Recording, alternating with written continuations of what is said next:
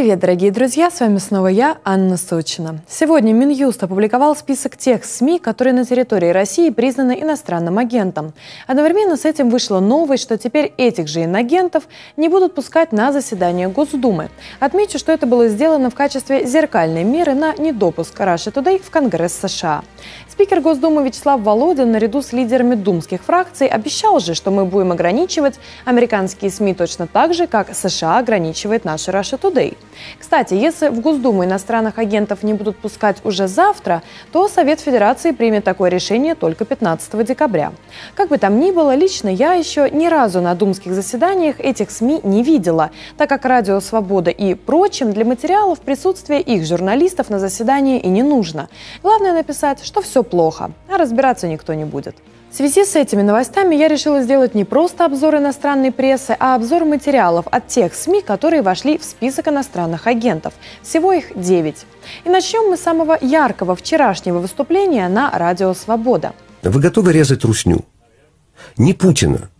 Готовы ли вы э, резать русского, который будет ломиться в ваш дом, понимая, что вы э, именно режете русню? Конечно, стоит учитывать, что это было сказано в эфире украинского радио «Свобода». Однако финансирование что украинского, что российского, что остальных подразделений осуществляется из Конгресса США через Совет по правам вещателей. Так что где именно это было сказано, особой разницы не имеет. Но чтобы быть объективной, я покажу вам последние материалы из российского радио «Свобода». Итак, здесь можно спокойно кликать на любую статью, не выбирая. Так что давайте посмотрим, что нам предлагает заглавная страница. Хорошо, узнаем, кто там на этот раз борется с Путиным. Мы на самом деле приехали высказать слова поддержки вам, потому что ну, мы просто были поражены, что есть такой человек, который выражает э, свою гражданскую позицию и не только выражает, а еще и показывает другим людям. И, да и вообще мы считаем, что ваш магазинчик это, наверное, самый демократический объект в Русско-Высоцком. Таких людей, как вот я, как вы, их дофига. Просто не у каждого может есть магазин. Ну да. Э, как говорится, и решимость на него вешать вот такие плакаты. Русскомолодежный я вот наш просроченный президент. Так, ну что, давайте примерим. Это вот плакат, но я думаю, что это уже как бы ну, сто, сотен у меня плакатов здесь висело. То есть это было бы маленькое кино такое, да, как, как мы вешаем, они снимают, мы вешаем, они снимают, да. Радио «Свобода» вообще обожает вот эту рубрику про маленького человека, который борется с системой. Такие истории она публикует постоянно, и владелец магазина из села под Петербургом, вешающий на свой магазин плакаты против Путина, это лишь одна из них. Тут просто огромная статья про его тяжелую борьбу с режимом, но мы ограничимся цитатой. В ней говорится о том, что плакаты предпринимателя отправляются на экспертизу в Центр Э, а потом на основе этих экспертиз уголовных дел не возбуждается.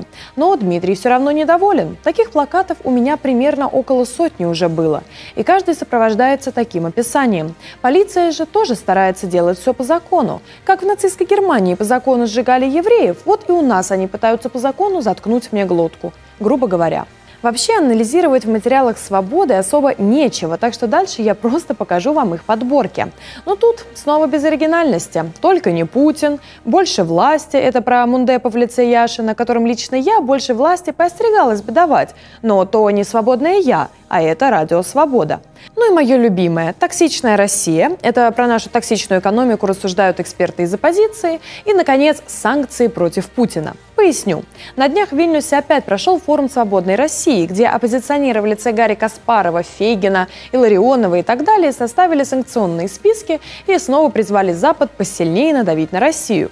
Ну а теперь этот же Иларионов воодушевляет слушателей «Радио Свобода». Я могу продолжать еще долго, но у «Радио Свобода» есть еще проекты, достойные вашего внимания. Вот, например, «Крым Реалии». Он также попал в список. Из последних статей мне особенно понравились вот эти две – Заголовок прочитали? А теперь вступление. Тоталитарные режимы насаждают гражданам беспомощность, а также не дают им взрослеть и критично мыслить. Как поддерживать психическое здоровье в условиях аннексии Крыма? Можно ли помочь тем, кто стал жертвой пропаганды, и как уберечь от нее детей? Вам психотерапевт не нужен случайно? Если вы почувствуете вдруг, что режим на вас давит, то обращайтесь к Светлане. Ну и социальный геноцид, конечно. Обычно его на сайте Крым Реалии испытывают крымские татары, но в этот раз геноцид проводится в отношении всех жителей полуострова. Но не думайте, что существует только Крым Реалии. Есть же еще новый проект Сибирь Реалии. Я не буду останавливаться на заглавных статьях о жертве двух диктатур. Под двумя диктатурами подразумевается Германия и Россия 40-х годов, конечно же. И избитыми клише «Гитлер равно Сталин» я вас мучить не хочу. А вот статьи по типу «Почему я не сибиряк» – это дело уже более серьезное. Тут на целую страницу идут рассуждения о том, является ли Сибирь частью России, а вывод делается следующий. Должны настать те времена, когда разговор о том, что такое Сибирь, станет нормальной повесткой дня, а не 280 статьей УК РФ. При этом Радио Свобода заявляет, что отвергает какие-либо экстремистские воззрения. Верим. Особенно после призывов резать русню. Я не буду останавливаться на таких проектах, как «Кавказ Реалии» или там «Идель Реалии» или «Татарстан Реалии». Там вы увидите точно такие же заголовки. Лучше напоследок посмотрим, что это за проект «Фактограф», который также был признан иностранным агентом. Оказывается, он тоже является частью «Радио Свободы» и «Голоса Америки». Так что вообще не совсем верно говорить, что мы признали иноагентами 9 СМИ. По сути, все это объединение «Радио Свобода» и «Голоса Америки». Я раньше даже не знала о существовании «Фактографа», который оказался платформой платформы, где проверяются заявления российских официальных лиц.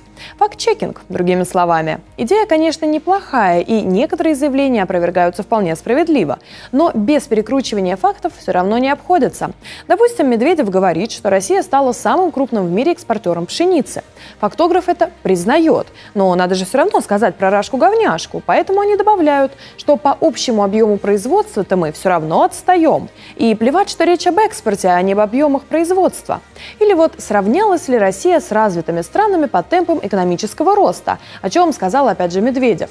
Он приводит слова экспертов, а фактограф в ответ – слова других экспертов. А, как известно, экспертное мнение – это настоящая область тьмы, где сказать можно все, что угодно, и факт-чекинг тут вообще ни при чем. А вот осадок остался. И если все эти проекты типа Крым Реалии являются собой очень топорную пропаганду, то вот фактограф работает гораздо тоньше, как и канал «Настоящее время», также принадлежащий «Радио Свобода».